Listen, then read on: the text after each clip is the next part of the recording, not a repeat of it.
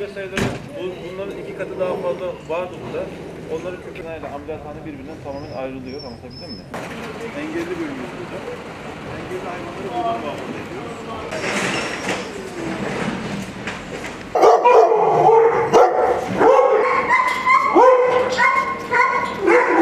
Dinlendiği bölüm. Burası. Nerede?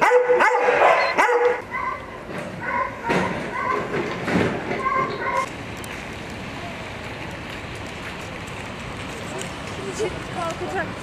Bu çiti tamamen kaldırıyoruz. Çiti.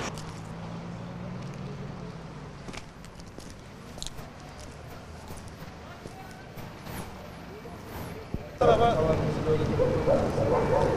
şu giriş tarafında bir kapımız olacak.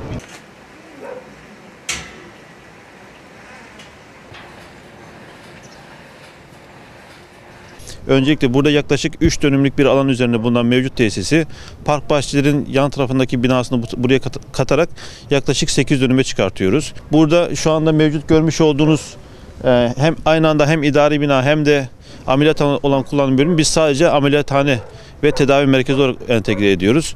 E, şu anda arka tarafta kalan yere biz idari bina koyuyoruz ve e, girişteki sol tarafa da bir hayvan kabul merkezi e, koyacağız. Biz bunun için yaklaşık bir, bir buçuk aylık bir süre içerisinde bu alanı tamamen e, yaptıracağımızı düş öngörüyoruz. Daha önce bu kulübe, bu barınaktaki kulübe sayılarımızda da eksiklikler vardı. Oraları zaten monte ettik. Şu anda bütün hayvanlarımız, kendi barınma, barınağımızdaki bütün hayvanlar kulübelerin içerisinde.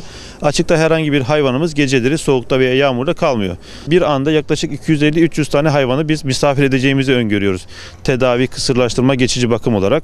Doğal yaşamda ge- gezinen, bizim e, barınaklarımızda olmayan hayvanlar için de bütün orduya, yaylalara dahil olmak üzere şu anda projesi üzerinde çalışıyoruz. E, minimum 400 civarında köpek kulübesini biz bütün doğaya bırakacağız. Hayvanseverlerin gözetiminde olmak üzere.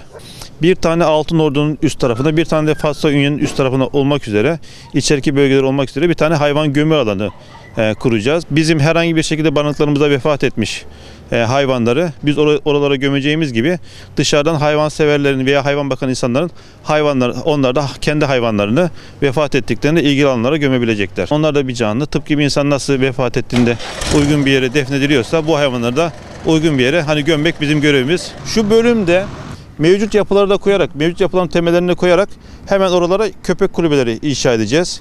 Binalara inşa edeceğiz. Yine çok da fazla masraf e, içermeyecek şekilde. Çünkü bizim bir taraftan kaynaklarımızı etkin kullanmamız da önemli. E, arazinin şu anda sondaj çalışmaları devam ediyor.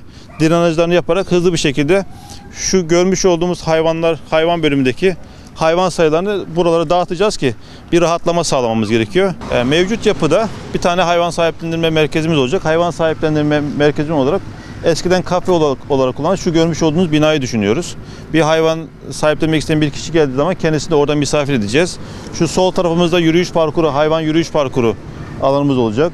Burada da hayvanla gelecek sahibini, potansiyel sahibini tanıştıracağız. E, bu toplam işte yaklaşık 8-9 dönümlük bir alanı biz tamamen hayvanlara tahsis etmiş olacağız.